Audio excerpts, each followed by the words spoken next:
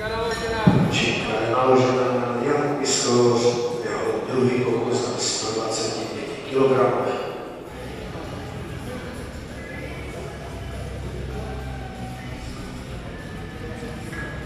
Jednou